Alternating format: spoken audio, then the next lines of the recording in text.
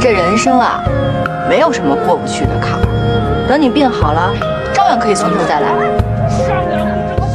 六哥，六哥，六哥，六哥，六哥，小六，小六，我怕寂寞，寻不到长久的相依，短暂的相伴也是好的。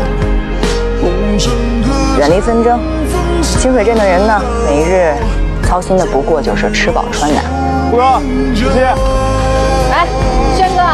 进来坐坐。彪哥，你要的糕点。六哥，最好的排骨给您留着呢。哥哥，我这刚出炉的包子。少管闲事，少操心，长命千岁乐逍遥。大婶儿、大哥、大姐们，以后谁家生不出娃，就来我回春堂等我们小六啊！